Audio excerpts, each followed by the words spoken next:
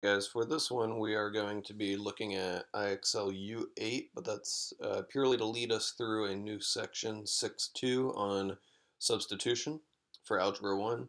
And when I say substitution, we've previously discussed how you can solve a system of equations using different methods. So we've talked about graphing before, now we're going to talk about this new method, substitution.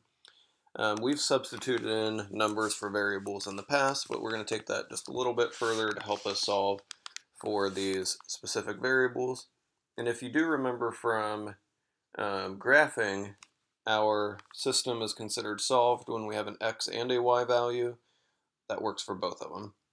So let's go ahead and start into this, and then this is kind of what we'll use as our example problems. So the first one here gives us two equations. We've already talked about graphing, but if we look at these, they're not already in slope-intercept form, so graphing might not be uh, the perfect way to go. And for a lot of these, if we were to graph them, that would be more time consuming and potentially less accurate if they don't cross at an integer point at a whole number. Um, so let's go ahead and look at what is given. I have a full equation on the top here the one on bottom is a little bit more simple. It's just x equals 8. What we're looking for in substitution is anytime we have a single variable, x or y, or any other variable in another problem, the equal sign, and then everything else on the other side. We actually have that here. If we didn't have it here, our goal, if we were doing substitution, would be to get one of those variables by itself, and then we can proceed. So once I have one of the variables by itself, I'm going to take everything on the other side, so that's just the 8 in this case. And because this is x equals, I'm going to plug it in anytime I see x in the other equation. So my top equation is going to change now from negative x to negative 8. I'm still going to keep everything else the same, so plus 2y and equals uh, negative 18. So from here I can solve for one variable now. Because I only have a y here, I got rid of the x. So that's kind of the reason we're substituting. We're eliminating one of the variables so we can solve for the other one. I would now add 8 to both sides, get 2y equals, that's going to give me negative 10 and then, here, let's fix this negative sign a little bit. There we go. Now I can divide by 2 on both sides, and I would get y equals negative 5. So now I know what y is. Remember, this is x. If this is an ordered pair, this is y. We need both things for this to be solved. So y was negative 5, we just found that. The nice thing in this problem is it tells us the x right off the bat is 8. If it didn't give us that, we would have to take this and plug it back in and then solve for x, kind of do it in reverse. But we'll go ahead and hit submit there and make sure we're on the same page. Awesome. Okay, let's jump forward a little bit and see if we can't find something a little different. Okay, so now if you look at this, uh, if we're using substitution, I said I want one of the variables by itself. In this one, we actually have both by themselves. So you could think about this two different ways, but it would end up giving you the same thing.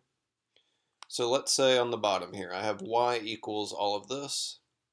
Well, I can take all of that that I just underlined and plug it in for y in the other equation. When I do that, if I write it out, I'm now going to have that negative 3x minus 10, so the underlined part is this, equal sign, and then I'm going to have 3x plus 8 on the other side.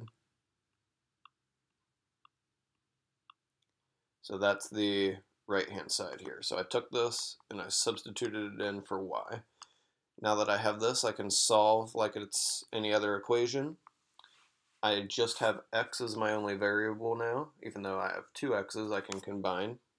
And now I can solve for x. So let's go ahead and add 3x to both sides. So that's going to move all the x's to the right hand side.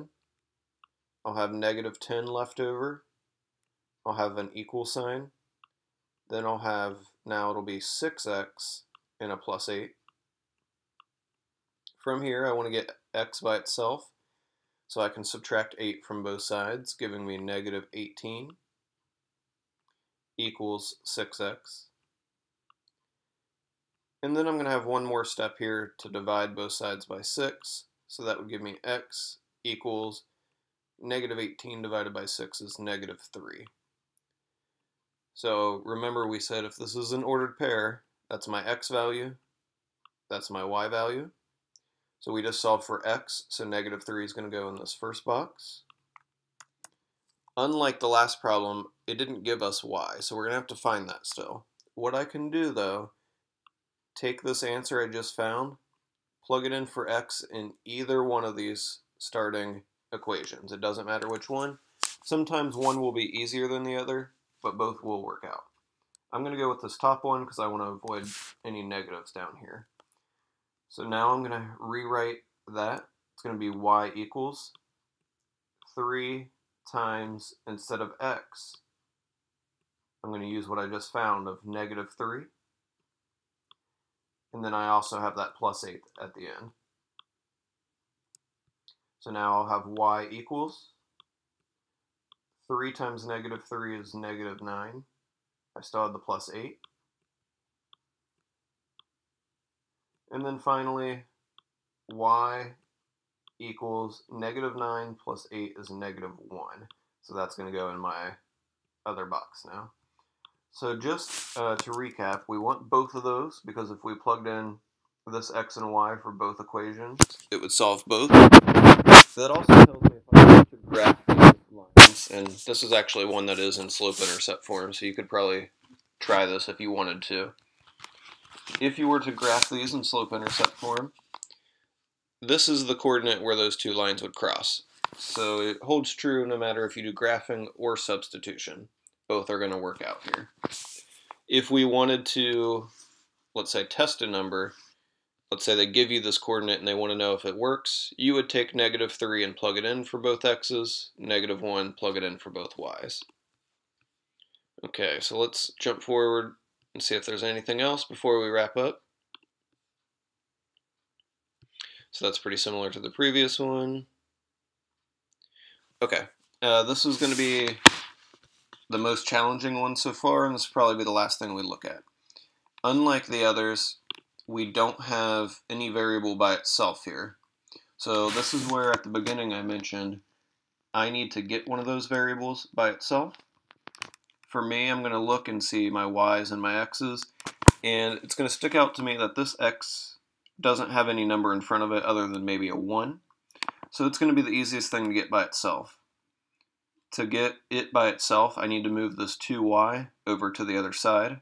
So I'm going to subtract 2y from both sides, and now it'll look like this. x equals,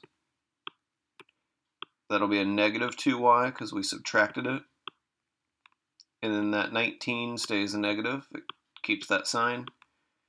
And now what I'm going to do is I'm going to use that new one we came up with instead of this old one. They're equal, we just move some stuff around.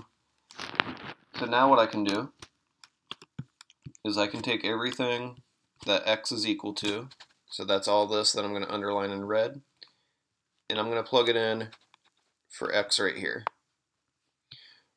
So what that's going to look like, I'm still going to have negative 4 times, instead of x, I'm going to plug in all this right here. So that's negative 2y, and then minus 19. So now, because there's two terms in here, I'm going to have distribution. But it's all things that we've done before. I'm still going to have a plus 8y, looking at the original equation. Still going to have equals negative 20. So the benefit of that substitution was now I don't have x in this problem, so I can eventually put all the y's together and solve for it. So let's go ahead and distribute here. Negative 4 times negative 2 is going to give me 8y. And then negative 4 times negative 19. Oh man, I might have to get the calculator out for that one. It's going to give me 76. I like to think I could have did that in my head, but I'm not going to ruin the problem by getting it wrong. I tell you guys you can use the calculator, so I'm going to give myself one. I still have the plus 8y equals negative 20. I see on the left-hand side there, 8y and 8y can combine to 16y. I still have the plus 76 equals negative 20. From here I would subtract 76 from both sides. So I'm going to have a negative 20 minus 76. It's going to give me a negative 96 on the right side equals 16y still. So I just subtracted that uh, 76. Now if I divide both sides by 16, negative 96 divided by uh, 16 is going to give me negative 6. So that's part of my solution now, negative 6. And then we don't know what x is, so I can plug back into any of these equations with the value we just found to solve for x. This one we made already has x by itself, so I'm going to use that one. So I'm going to have negative 2 times, instead of y, negative 6 minus 19. And that's all equal to x. So once I simplify that, I'll know what x is equal to. Negative 2 times negative 6 is 12. 12 minus 19 is going to give me a negative 7. So that would go in my other box there. Awesome. Okay, so um, those are the different kind of levels of difficulty you'll see. Um, for the assignment I'm going to have my Algebra 1 class doing today. It's not going to be quite as difficult as that last one, but that'll help you um, kind of get started. Pieces of that will help you. Okay, if this was helpful, give it a like. Feel free to subscribe for the uh, future content, and we'll see you guys.